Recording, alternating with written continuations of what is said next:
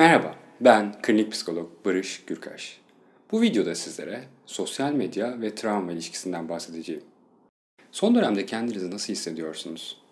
Etrafta olan biten olaylar, patlama videoları, terör saldırıları ruh halinizi nasıl etkiledi?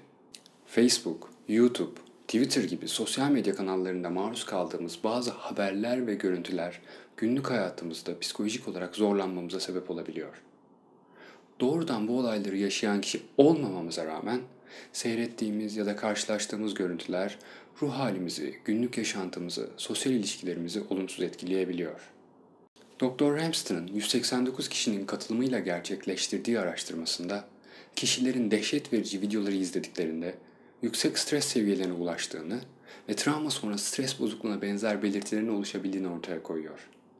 Bir diğer deyişle, olayı bizzat yaşamasanız da vekaleten travma yaşayabiliyorsunuz. Dr. Ramston'ın sosyal medya üzerine yaptığı bu araştırması, sosyal medya ile gerçek hayatın ne derece iç içe geçtiğini bizlere gösteriyor. Bununla birlikte sosyal medyada izlediğiniz dehşet verici görüntüler herkese eşit oranda etkilemiyor. Psikolojik olarak daha dirençliyseniz daha az etkilenirken, daha zayıf bir durumdaysanız daha çok etkilenebiliyorsunuz. Ayrıca siz de tahmin edersiniz ki bu görüntüler çocuklarınızı çok daha fazla etkiliyor.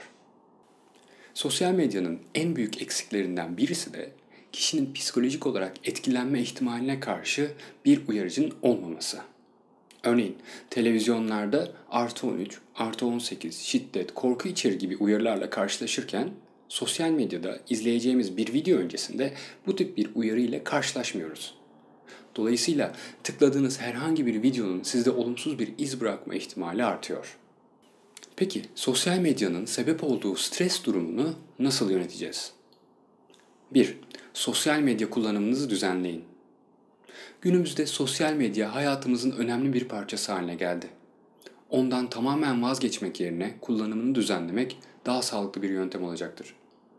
Gün içinde kullandığınız süreyi azaltmanız, sizi rahatsız eden provokatif paylaşımlar yapanların takibini bırakmanız, rahatsız edici görselleri ve yorumları paylaşmaktan kaçınmanız sizi büyük oranda koruyacak.